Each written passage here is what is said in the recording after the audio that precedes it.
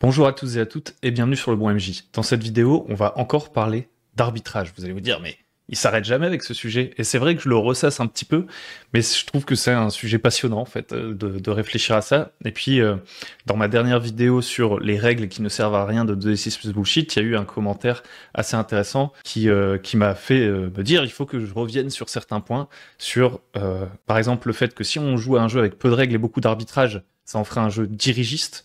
Ce en quoi je ne crois pas, que ça en ferait un, jeu aussi qui, reposerait aussi beaucoup plus sur le hasard. Ce en quoi je ne, crois pas non plus. Dans cette vidéo, je vais essayer de vous expliquer pourquoi. Euh, on va tout simplement faire des gribouillages. Donc, la première chose qu'il faut euh, bel et bien dire, c'est que euh, 2d6 plus bullshit, là, il faudrait vraiment trouver un autre moyen d'appeler ce truc, mais j'en ai pas. 2D6 plus bullshit, c'est pas censé être la panacée. C'est pas un jeu qui, qui est fait pour plaire à tout le monde. Et donc, dans ma vidéo précédente, quand je disais qu'il y avait des, des gens qui, qui, se trompaient, entre guillemets, et qui m'avaient amené à créer des règles qui n'étaient pas nécessaires pour 2D6 plus bullshit, c'était pas une manière de dire que ces gens se trompaient dans la manière de jouer au jeu de rôle, ou avaient de mauvais goût, ou euh, ne comprenaient rien à, à comment ça fonctionne. Non, c'est pas ça. C'est juste que le fait de vouloir apporter des mécaniques telles que des points de vie, tels que des traits qui évoluent, des bonus qui évoluent, mettre plus de chiffres, etc. Ça va à l'encontre en fait de la manière euh, dont j'utilise 2D6 plus bullshit. Pour moi, 2D6 plus bullshit, quand j'utilise, c'est quand j'ai envie de jouer à un truc assez, on pourrait dire, cinématographique, où il n'est pas question euh, d'ailleurs d'équilibre de jeu et où il n'est pas tellement question d'un jeu de société. On pourrait dire que s'il y avait une sorte de, de jauge, vous voyez, il y aurait des jeux qui se situeraient plus du côté euh, euh, c'est même pas jeu de société, j'ai pas de terme pour expliquer ça. D'un côté plus ludique, c'est pas le terme non plus, mais d'un côté, comment expliquer ça? D'un côté, vous avez le truc où vous aimez jouer avec des feuilles de personnages, cocher des cases, avoir des jauges, faire progresser vos stats, avoir des points de vie. Tout un côté qu'on va plus retrouver euh, dans du wargame, dans du jeu vidéo ou bah, dans des jeux de société plus traditionnels, un peu jeu de plateau, etc. On pourrait dire que ça, c'est euh, un côté de la jauge, et d'un autre côté, il y a le côté plus euh, euh, j'interprète mon personnage, je discute et euh, on raconte une histoire, ou en tout cas on, raconte une fiction quoi.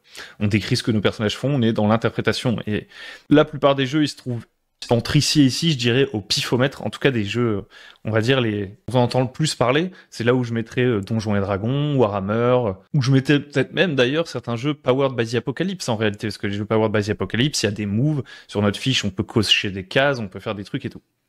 Quand je joue à 2d6 plus bullshit, moi j'aspire plutôt à me trouver ici. Et donc, ajouter des PV, des bonus, des, beaucoup de règles supplémentaires, ça me fait tout doucement aller vers ici. Et donc, ça dénature ce que j'essayais de vous présenter avec 2D6 plus bullshit. Donc, l'erreur, en réalité, vient de moi. Euh, l'erreur, c'est que lorsque des gens m'ont fait remonter euh, je, je comprends pas comment on fait pour les points de vie, les blessures, euh, comment on fait pour la progression de personnage, etc. J'essaie de venir leur donner des réponses. Mais du coup, j'ai changé euh, mon approche du jeu. Moi, je ne m'en sers pas. Et d'ailleurs, ce que je disais euh, en répondant à cette personne en commentaire, c'est que lorsque j'avais fait une campagne où j'avais voulu mettre plus de bonus de traits, etc., euh, en fait, finalement, jouer avec les règles que j'avais inventées pour répondre à ces demandes, bah, la campagne s'est moins bien passée. Ça m'a éloigné de ce, que j'essaie de faire avec 2d6 plus bullshit. Immédiatement, lorsqu'il y a des chiffres sur la feuille, on commence à entrer dans une logique un petit peu plus jeu. Alors que 2d6 plus bullshit, bah, c'est un jeu. Hein, c'est mais le but, c'est de faire le moins de GD possible, d'avoir le moins de chiffres possible, d'être le plus souvent possible simplement en train de décrire ce qui se passe dans l'histoire. Et en, mettant plus de, de, points, de capacités spéciales, etc., ça nous amène forcément, et c'est naturel, à plus réfléchir dans ce sens-là à se pencher plus sur ces sujets-là. Ça fait qu'à la création de personnages, on commence à se dire hm, je vais mettre un malus pour avoir un bonus, ou alors si lui doit être très très fort, il faut qu'il ait un plus 2, est-ce que je vais avoir un plus 1 Enfin bref, ça nous amène plus vers un côté jeu. Est-ce que c'est mal? Est-ce que c'est bien? Là n'est absolument pas la question. Je pense que euh, depuis que vous regardez la chaîne, vous comprenez bien que moi j'aime bien jouer à plein de genres de jeux différents et qu'il n'y a aucun type de jeu que je m'amuse à descendre gratuitement, etc. D'ailleurs, de D6 plus bullshit, je reconnais entièrement que c'est, euh, ça sert à ce côté un peu, moi je dirais une sorte de, de jeu cinéma, dans le sens où Au cinéma, à aucun moment, ou quasi, bah, en fait, jamais, en réalité, je ne suis en train de calculer les points de force de mon personnage. Si je regarde un, un animé, euh, Naruto, c'est pas écrit qu'il a 150 euh, points de chakra et qu'il frappe à plus 3 avec son Rasengan et que plus tard, quand il améliore son Rasengan, maintenant son Rasengan, il fait genre 2d6 plus 3 dégâts, vous voyez On n'est pas du tout dans cette logique-là. Quand je veux faire des trucs comme ça, moi, je vais faire 2d6 plus bullshit. Je ne prétends pas que c'est la panacée qui peut tout faire et qui va euh, remplir euh, mon besoin d'avoir un aspect plus jeu. Vous voyez? Il peut pas faire ça. Il peut le faire, mais dans ce cas-là, il faut le modifier. Et tout le monde est absolument libre de, modifier son jeu et d'en faire absolument ce qu'il veut. Je m'en fiche, moi personnellement, de ce à quoi les autres gens jouent. Et euh, moi-même, je bricole les jeux pour les amener plus vers un truc qui m'intéresse et tout. C'est 100% legit, d'accord? Voilà, ça c'était vraiment un point je, je, reprécise, on va dire. Maintenant, il y a une, une, autre question à laquelle je, pensais avoir déjà répondu dans une vidéo. Euh, c'est celle de l'équilibrage, un petit peu, ou pas de l'équilibrage, mais comment on pourrait dire ça? De faire en sorte, euh, lorsqu'on joue à un jeu, de se mettre des points supplémentaires dans certaines capacités, etc., de réduire la part de chance. Donc en fait, c'est la question de la chance, on va dire. De la chance, euh, il y avait une remarque qui disait de D6 Bullshit, c'est un jeu qui du coup repose beaucoup plus sur la chance. Soit avec quoi je ne suis pas d'accord, et je vais essayer de vous expliquer pourquoi, et vous donner des exemples, et cette vidéo, elle sera plus sur des exemples. Et il y avait aussi la question de euh, du scénarium, entre guillemets. S'il y a peu de règles, si euh, mon personnage il n'est pas bien défini, qu'il n'a pas des bonus qui sont indiscutables sur sa fiche, etc., ça favoriserait une forme de scénarium. Ce avec quoi je ne suis pas d'accord non plus, et on va voir euh, des exemples très très concrets. Donc commençons par la chance. Dans 2d6 plus bullshit, quand moi je le pratique, on jette quasiment jamais les dés. Euh, jamais les dés. On les jette que à un moment vraiment critique, et à ce moment critique, on se pose 5 minutes, donc c'est un des seuls moments pendant la partie où on va sortir de la fiction, sortir de nos personnages pour parler un peu de mécanique et essayer de peser le pour et le contre de la situation. À ce moment-là, on va euh, commencer à parler de règles et on va jeter les dés, mais il y a des parties qu'on a faites où il y a eu, je sais pas, genre 3 G dans la partie. Donc en termes de chance, il y a, quasiment aucun impact de la chance dans le jeu. Euh, d'ailleurs, j'ai envie de dire que dans un jeu où il y a plus de mécanique, où il y a plus de chiffres, euh, on va avoir plus besoin de chance. Et effectivement, je suis assez d'accord, dans le cadre d'un jeu où il y a plus, plus chiffré, je vais finir cette phrase, quasi jamais de lancer. Dans un jeu où euh, il y, euh, y, a beaucoup plus de chiffres, etc., pour que ces chiffres aient de l'importance, il va falloir faire appel plus souvent à la mécanique, peut-être. Vous voyez, si on passe du temps, si on investit beaucoup de temps à se mettre des points de force, des points pour toucher, des points de, X ou de Y euh, dans, tous ces jeux, ce serait dommage de ne pas se servir des mécaniques qui s'en servent. Et les mécaniques qui s'en servent, du coup, utilisent la, la chance qui est pondérée par ce qu'on a mis sur notre chiffre. Mais souvent, plus on a de chiffres, plus, je pense, c'est mon avis, il faut qu'ils servent à quelque chose et qu'on jette les dés. C'est d'ailleurs pour ça que dans pas mal de jeux où on a des grandes listes de compétences, plein de compétences et tout, des fois, moi, c'est le genre de jeu euh, où je me dis ça sert un peu à rien, on a trop de compétences, il y en a plein dont on se sert pas, etc. Et il suffirait de dire que mon personnage il est un peu versé dans tel ou tel art, que effectivement c'est un, un horticulteur et il s'y connaît un petit peu dans les plantes. On pourrait le dire sans en faire un truc chiffré, euh, et, ça aurait un impact dans la fiction, ça permettrait de donner de la texture au personnage, mais on n'a peut-être pas besoin d'en faire une mécanique. Vous voyez ce que je veux dire? Il n'y a pas besoin que ce soit mécanisé pour que ce soit représenté, euh, que mon personnage, on ressente qu'il a ça. Ça va se faire à travers l'interprétation du personnage, etc. Pour moi, les, chiffres et tout, que je rejette pas d'ailleurs, parce que 2D6 plus bullshit, comme je le disais, je m'en sers que pour du cinématographique, mais c'est le jeu, enfin c'est pas le jeu auquel je joue le moins, mais je joue plus souvent à, plein d'autres jeux qu'à 2D6 plus bullshit. En ce moment, je n'y joue pas, je joue à Iron Star Starforge, à Fantasy, euh, Fantasy World, dont je vous ai parlé récemment. J'ai joué récemment à Blades in the Dark. C'est des jeux beaucoup plus mécaniques, qui ont un côté beaucoup plus jeu de plateau, et j'adore ça. dans ces jeux-là, j'aimerais pas qu'il y ait trop de chiffres, euh, ou en tout cas pas des endroits qui servent à rien. Pour moi, s'il y a des chiffres, des règles et tout, idéalement, il faudrait que ça serve le plus souvent possible. Et du coup, il faudrait euh, avoir euh, le moins de compétences possible pour qu'elles soient le plus pertinentes possible et que les compétences servent euh, à part égale au max. Ça, c'est une chose. Et la deuxième chose, c'est qu'à partir du moment où tu me, demandes de mettre des points de compétences sur ma fiche, etc., j'espère bien que je vais lancer plus les dés. Sinon, j'ai pas envie de, de, passer trois plombes à choisir mes caractéristiques si elles ne servent à rien. Et à partir du moment où j'ai déterminé mes caractéristiques et qu'il y a beaucoup de jets de dés, il y a plus d'impact de la chance. même si j'ai pu paramétrer mon personnage pour pondérer cette chance, on va y faire appel plus souvent, je pense. Dans 2D6 plus bullshit, on va juste, au moment où il y a un enjeu important, regarder les traits, ou euh, dans la version que je proposais un petit peu la dernière fois, se poser la question, est-ce que mon personnage, il est plus fort que celui de l'adversaire? Est-ce qu'il est mieux équipé? Est-ce qu'il a un avantage à cet instant précis dans la fiction? À ce moment-là, on va se poser ces questions-là, on va faire un jet de dés, et ça va avoir un énorme impact sur l'histoire. Alors oui, sur un seul jet de dés, ça va être un gros tournant. Donc on peut se dire que par contre, dans des 6 plus bullshit, quand on jette les dés, ça compte fort fort fort. C'est plus rare, et donc il n'y a pas beaucoup de... On fait pas souvent appel à la chance. Donc ça, c'est une chose. Et d'ailleurs, ça peut être un argument pour ne pas y jouer. Se dire, moi j'aime bien un jeu où on jette plus souvent les dés. Ça, là, je serais complètement d'accord. Si on jette euh, tout le temps les dés, etc., ça va aller à l'encontre de la philosophie du jeu parce qu'on va devoir se retrouver beaucoup plus souvent à se demander est-ce que je suis en position de force, est-ce que je suis bien équipé, est-ce que X, est-ce que, est-ce que Y, et donc je vais quitter tout doucement ce truc euh, full RP euh, fiction pour retourner vers du jeu de société. Et dans ce cas-là, le jeu est pas très intéressant, on va pas est moins intéressant, on va pas se le cacher, parce que quitte à faire souvent appel à des à des règles de, jeu de plateau, autant que ce soit intéressant, qu'il y ait plus d'interaction, que la fiche, il y ait plus de, de spécificité sur cette fiche en fait. Euh, D'ailleurs, c'est par exemple le cas des, PBTA. Dans les PBTA, c'est quasiment la même chose, sauf qu'il y a des moves. Et donc les moves, ils sont déclenchés à des moments précis du jeu, des déclencheurs, et euh, c'est ça qui fait l'intérêt du jeu, c'est le fait qu'on on déclenche assez régulièrement ces moves, qu'on se contente pas de les ignorer et de les utiliser quand on veut. Si euh, si euh, je commence à jouer à un jeu PBTA et que je décide de d'ignorer régulièrement les moves, moi perso j'irai plutôt vers du 2d6 plus bullshit parce que c'est que je suis en mode ces moves ne servent à rien, etc. Si je veux avoir le côté plus jeu, même si j'aime pas le terme, parce que dans les deux cas c'est un jeu, je, je vais l'assumer complètement et utiliser les moves. Voilà. Donc ça, c'était le premier truc. Ensuite, il y a la question du scénario. Est-ce que... Euh, ah, il y avait une autre question, mais on, y reviendra après, je la note ici. Ok.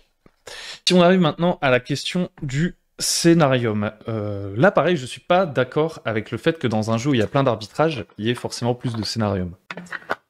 En fait, si le MJ arbitre les paramètres dans un jeu comme 2D6 plus bullshit, il le fait également dans quasiment toutes les formes de jeu. La seule forme de jeu, je dirais, où le MJ n'arbitre pas les paramètres, c'est une forme de jeu où euh, on n'a pas la même répartition de, l'arbitrage autour de la table. Par exemple, c'est les joueurs ensemble qui décident comment gérer chaque situation, etc. Ça peut être une forme de jeu de rôle.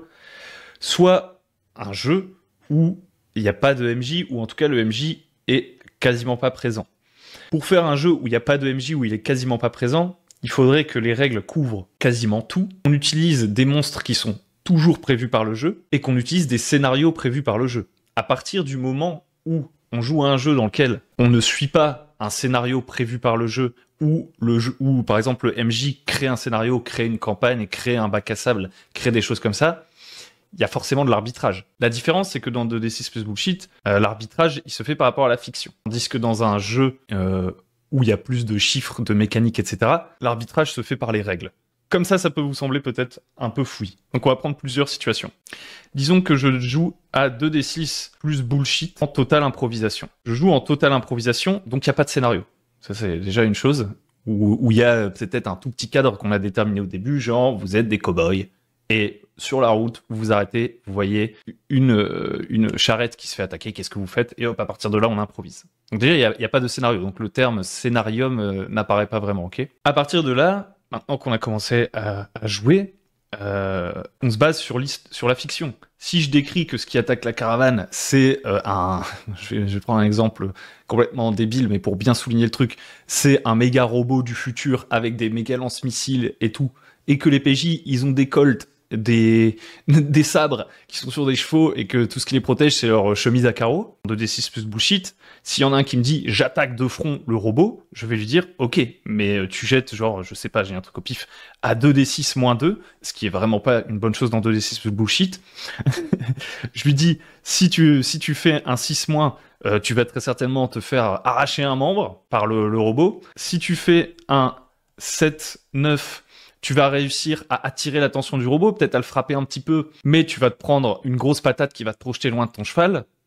Et si tu fais un 10 plus, vas réussir à abîmer légèrement le robot, vous voyez? Parce qu'en fait, dans la fiction, il n'y a pas vraiment de, de possibilité autre avec l'équipement qu'a le personnage. Si par contre on a décidé que c'est des, super cow-boys, si on a décidé de jouer dans un truc hyper loufoque où le cowboy peut courir sur les jambes du robot, sauter, lui donner un coup de poing dans l'œil, genre qu'on est dans un truc un peu plus, euh, un peu plus, euh, waouh, vous voyez, là ça change tout. C'est la fiction qui prime, le genre qu'on essaye d'émuler. Donc là, l'exemple est un peu extrême, mais je pense que vous avez compris comment ça fonctionne. Maintenant, même situation, mais avec euh, un jeu, euh, je vais dire, j'ai pas envie de dire un jeu classique, mais j'ai pas d'autre mot, on va dire un jeu, un jeu, euh, c'est pas classique, parce qu'il y a plein de jeux comme 2D6 plus bullshit d'ailleurs, ça c'est aussi intéressant, c'est que c'est pas innovant, tout ce que je vous explique dans toutes ces vidéos. C'est juste une formalisation simplifiée du truc. Si on joue à un jeu classique un peu plus, on va dire, carac, compétences, etc., bon, je veux faire exactement le même scénario en tant que maître du jeu ce que je vais faire, c'est que je vais juste dire que le robot, il a 150 euh, PV. Je vais prendre Donge. Hein, je suis désolé, j'ai rien contre Donge. Je le rappelle, je joue à Shadow Dark. Je vous renvoie au début de la vidéo où je dis que je joue à plein de jeux différents. Mais si je suis dans un jeu classique, le robot il a 150 PV, il a genre 30 de classe d'armure, et euh, voilà, comme ça je suis sûr que mes PJ ils peuvent rien faire sauf sur des coups critiques, et que quand ils font des coups critiques, ils font des toutes petites estafilades au robot. Voilà. C'est exactement la même chose, d'accord? Sur le moment, je regarde l'histoire qui est en train d'être racontée et j'explique les conséquences euh, possibles aux joueurs et je leur dis les chances qu'ils ont, etc., en pondérant avec un, un tout petit bonus-malus par rapport à la fiction. Dans l'autre, je crée juste un adversaire hyper fort. Donc l'histoire du scénarium, du méchant qui peut pas euh, se faire tuer dans 2 6 plus bullshit juste parce que le MJ l'a voulu, cette, histoire peut se retrouver dans 99% des jeux classiques aussi, juste en proposant un monstre trop fort. C'est pas plus compliqué que ça. Il peut préparer des situations quasiment impossibles à résoudre avec n'importe quel jeu. Donc en fait, je décorrèlerai, je décorrèlerai, c'est difficile à dire, le côté scénarium, dirigiste, j'oblige mes joueurs à faire des trucs du, système de règles. Je peux juste créer des monstres trop forts, des, euh, des obstacles trop difficiles. Vous pouvez pas sauter au-dessus de ce mur parce que c'est DD, c'est DD 25, DD 30. Et puis voilà, vous pouvez pas le faire. Je peux le faire avec Donjon Dragon, je peux le faire avec tous les jeux. Donc le seul truc où on pourrait se dire, selon moi, mais c'est un peu un truc par l'absurde parce que je pense qu'il y a vraiment très peu de gens qui jouent comme ça. Le seul truc où on pourrait dire, le MJ euh, n'a aucune, euh, aucun arbitrage laisse complètement les, joueurs euh, aucun scénarium, ce serait le coup où. Et en fait, pour moi, c'est presque une sorte de fiction. D'accord?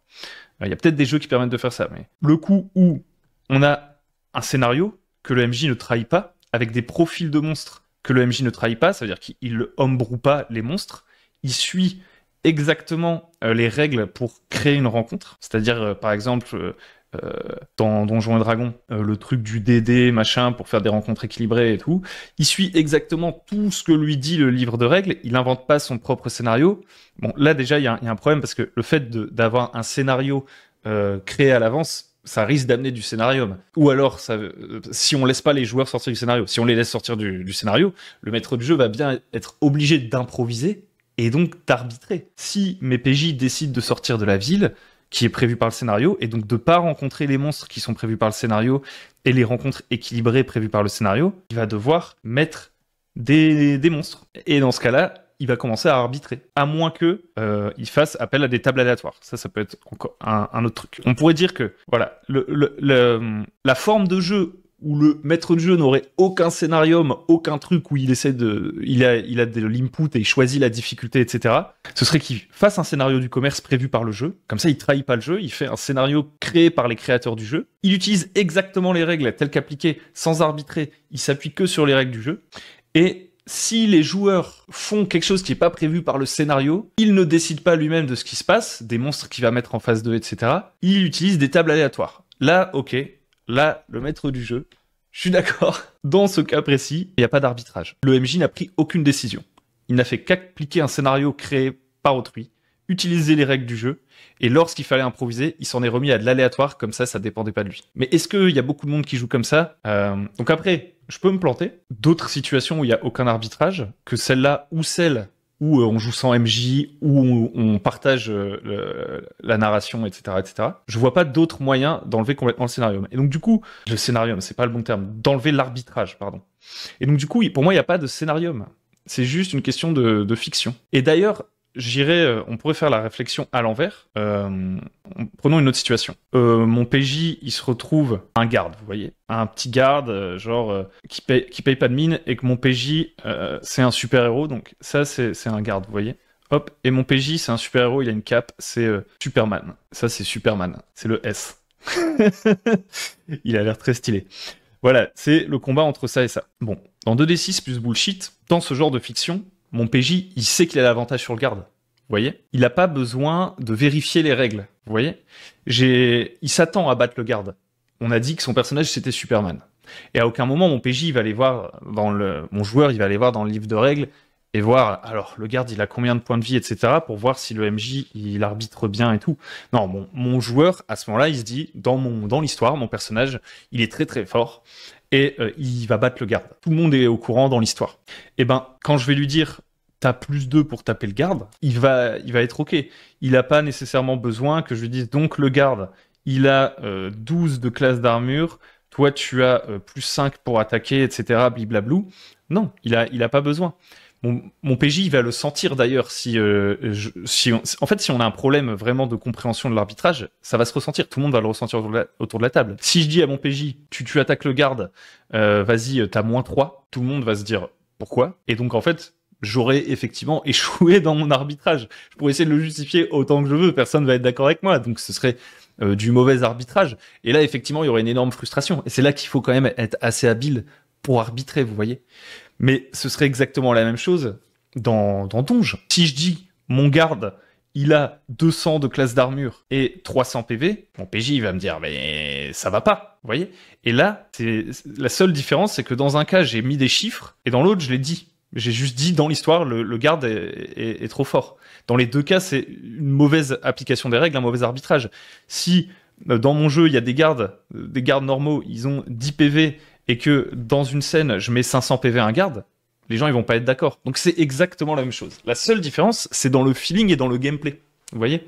Dans un jeu, on va s'amuser avec les classes d'armure, avec les bonus, à se dire ouais, je gagne des points, etc. Et ça peut être cool.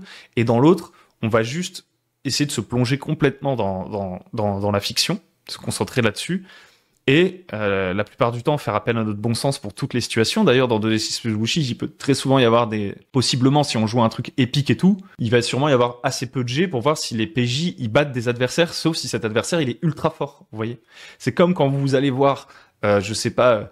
Euh, un film de super-héros, le super-héros, à moins qu'il affronte le super méchant, dans quasiment toutes les scènes d'action, on se dit il va gagner. Bon, comme c'est un film, on se dit aussi qu'il va gagner contre le super méchant, vous voyez. Euh, donc c'est pas exactement comme un film, ça reste un jeu et on va jeter des dés à des moments qui vont pouvoir créer des, des twists. Mais le, le, le, moyen de déterminer euh, le peu de fois on va jeter les dés dans 2d6 plus bullshit, le moyen de déterminer les plus, les moins, c'est la fiction. Et le moyen de déterminer les plus, les moins, euh, l'ACA, les points de vie, etc., dans, un, dans la plupart des, des, des jeux de rôle qui utilisent des règles telles que celle-là, c'est aussi la fiction. C'est exactement la même chose. C'est juste que dans un cas, on va le faire en live, on va pondérer en live, et ça facilite beaucoup l'improvisation, moi je trouve, personnellement. Euh, dans l'autre, on va créer des profils de monstres. Des profils de monstres que sûrement les PJ ne verront jamais, donc ils pourront jamais euh, vérifier. Euh, c'est très rare. Enfin, je sais pas, il y a peut-être des tables où ça se fait, où les PJ ils ont le bestiaire entre les mains, ils peuvent regarder les PV des monstres et tout. Des règles qu'ils ne verront jamais, et donc au final, ils vont aussi s'en remettre à OMJ dans ces situations-là en fait. Et le MJ pourra tout autant faire du scénarium s'il le souhaite en trichant derrière son écran, ou en créant des monstres plus forts, ou en changeant des règles, etc. En fait. Il y avait une autre question qui était celle de... Où est-ce que je l'ai mis? De...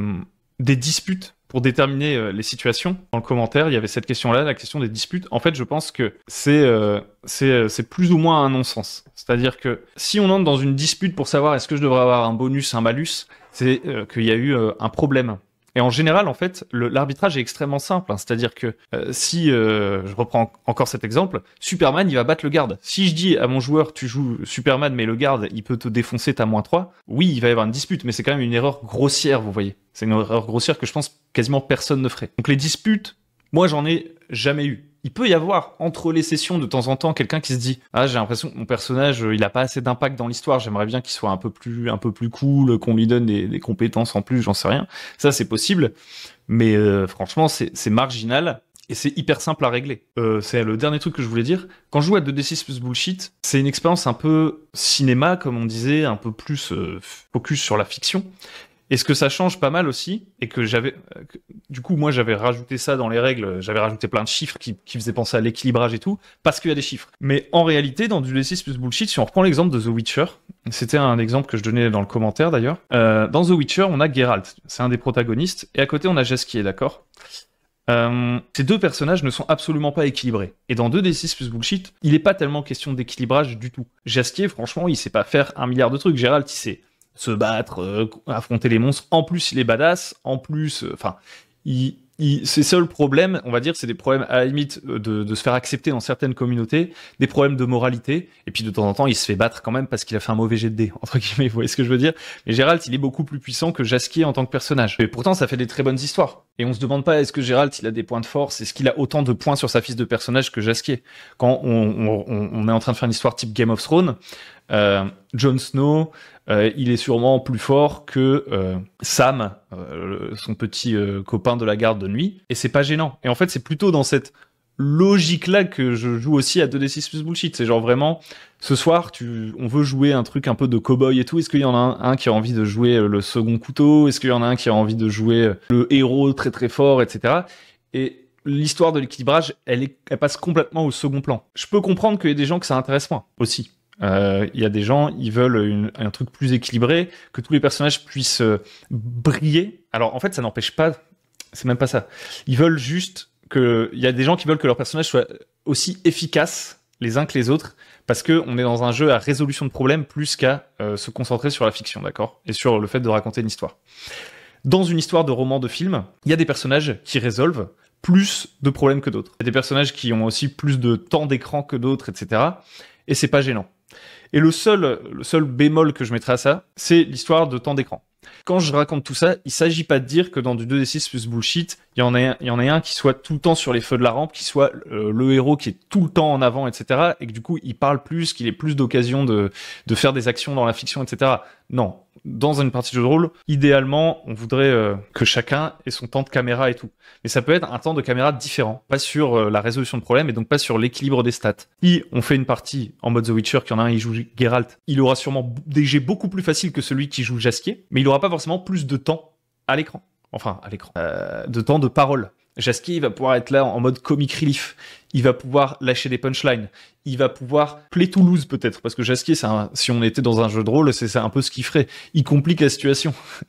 Mais il va aussi pouvoir briller par certains moments, parce qu'il va avoir des contacts. Il va peut-être être socialement un petit peu plus adapté. Il va peut-être avoir une chance insolente, vous voyez Parce qu'il est dans un trope, une sorte d'archétype de personnage comme ça.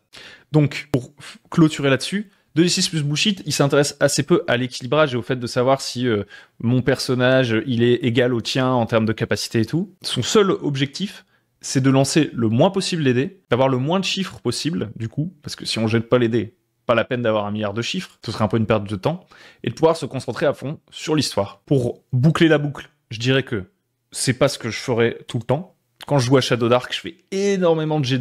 Quasiment à chaque tour, il y a un jet de. Il y a plein de tables aléatoires. Quand je joue à, euh, Fantasy World, on a des moves, donc il y a, beaucoup de mécaniques. Je mets pas un de ces jeux particulièrement euh, au-dessus de l'autre. C'est juste qu'en fait, on fait pas la même chose.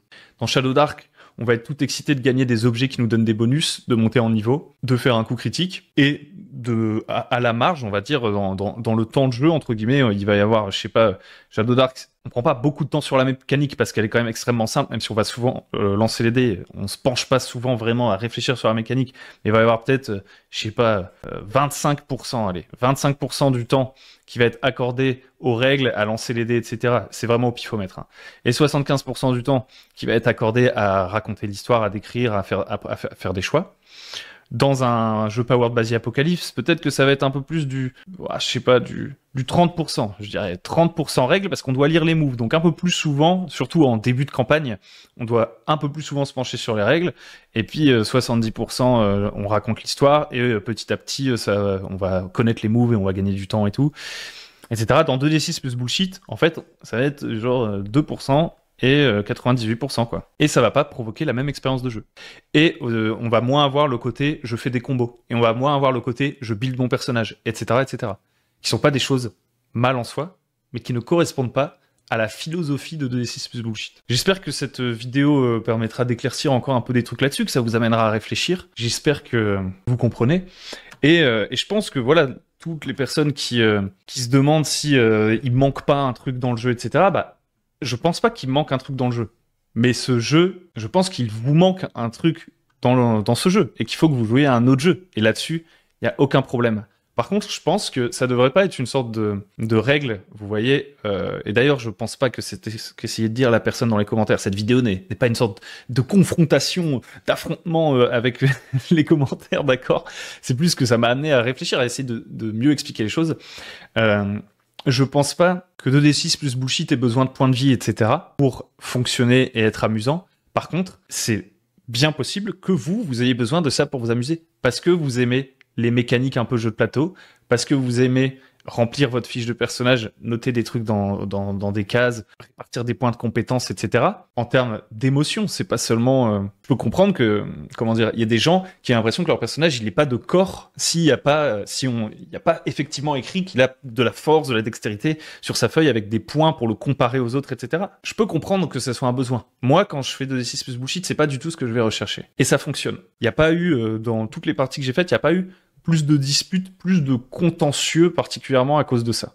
Ça aurait pu être le cas si j'avais joué avec des gens qui ont envie d'un truc beaucoup plus ludique, peut-être. Mais je pense que s'il y avait vraiment un, contentieux autour de ça dans une partie de D6 plus bullshit, ce serait plus un problème de d'être euh, d'avoir réussi à accorder ses violons vous voyez euh, a un joueur qui en permanence me dit euh, là je pense que je devrais être plus fort là je devrais avoir plus de bonus tu me mets trop de malus etc c'est sûrement pas un problème on va dire lié aux règles c'est plutôt un problème de soit on n'arrive pas du tout à se mettre d'accord sur la fiction, soit il trouve que c'est injuste et peut-être j'ose poser ça là qu'il a un côté un peu mauvais joueur, il aime pas que son personnage perde, alors que quand on raconte, euh, quand on se concentre surtout sur l'histoire, oui, on n'a pas envie que notre personnage meure, etc. Mais on est prêt à accepter, si on a compris le canon esthétique de l'histoire qu'on essaie de raconter, que notre personnage, il va avoir des, hauts, des bas, des échecs. Et d'ailleurs, il y a des gens qui ragent sur leur GD dans des jeux avec plein de règles aussi. Donc, euh, donc voilà, je pense que c'est pas intrinsèquement lié à ça, au système. Il n'y a pas de si vous arbitrez correctement, et par ça, j'entends pas que ce soit un, skill incroyable, hein, c'est pas genre d'être vraiment la, personne la plus juste, etc. Arbitrer correctement, souvent, euh, il s'agit juste de d'avoir réussi à, mettre au clair l'histoire qu'on essaie de raconter, le niveau de, puissance des PJ, euh, euh, le style, etc. Si vous arrivez à peu près à arbitrer correctement ça, en vrai, il n'y a, pas tellement de, il y a rarement débat euh, sur le fait que le PJ devrait avoir des bonus, des malus en plus, vous voyez. Et si on a, en général, on arrive à les régler très très facilement en discutant un petit peu. Et si on n'arrive pas à les régler très très facilement en discutant un petit peu, c'est souvent qu'on n'est pas sur la même longueur d'onde et qu'on devrait jouer avec d'autres personnes avec qui on est sur plus la même longueur d'onde. Voilà. J'espère que cette vidéo vous aura plu, j'espère que ça vous aura donné du grain à moudre. En tout cas, moi, j'adore toute cette réflexion, mais bon, j'ai quand même l'impression que je commence à entrer dans une sorte de, boucle, vous voyez, euh, à me répéter, mais j'espère que ça a permis d'éclaircir encore plus. Dites-moi ce que vous en pensez. N'hésitez pas à venir sur le Discord, à, à, liker la vidéo si ça vous a plu, à vous abonner si vous voulez continuer à voir des vidéos du genre et tout. Et puis, je vous dis à très bientôt sur le bon MJ. Merci de m'avoir écouté. Ciao